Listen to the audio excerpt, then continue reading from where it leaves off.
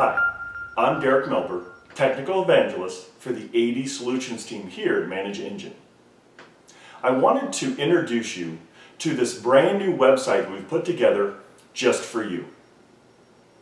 I have found over the last 10 plus years of helping auditors, administrators, and security professionals that there's a struggle trying to create security baselines for Active Directory, domain controllers, and your Windows servers. So what we've done here at Manage Engine is put together for you an all-inclusive website that's going to help you put together a security baseline for all your Windows servers. Now, the main reason we put together this website is to help you protect against the main threats that are out there today. Pass the hash, pass the ticket, and many of these other rogue attacks on our corporate networks are taking advantage of privileged access. So the question becomes, who has privileged access? Well, that's exactly what this website is about.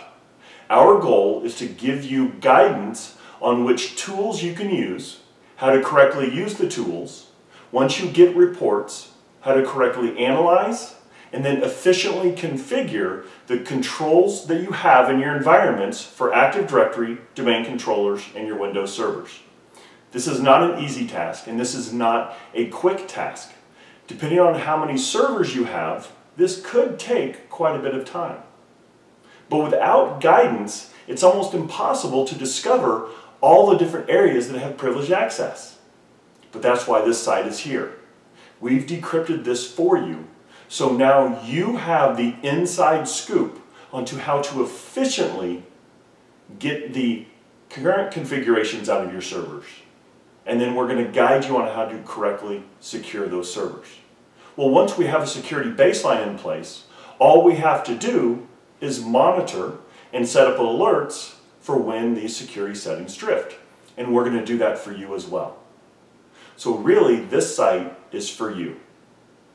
We at Manage Engine care about making sure we give you solutions, not only products, but solutions so that you can make your Active Directory environments more secure, more efficient, and that you have inside views through reports on what's going on with Active Directory. We hope you enjoyed the information. This is Derek Melber for Manage Engine. Thanks.